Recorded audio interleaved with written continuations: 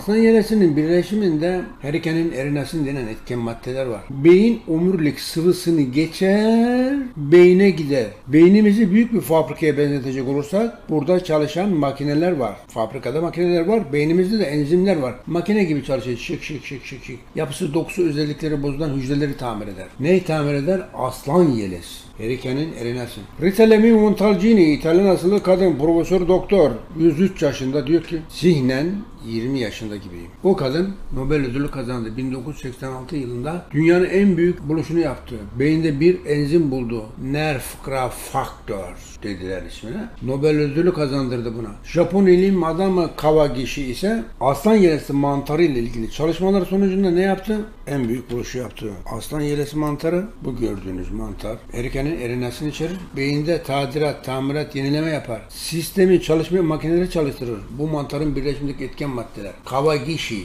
Japon ilim adamı yaptı bu buluş. Dünyadaki bütün ilim adamları çalışırlar, buluş yaparlar, gökçek, ürün üretir. Evet, benim onlar hepsi benim laborantım.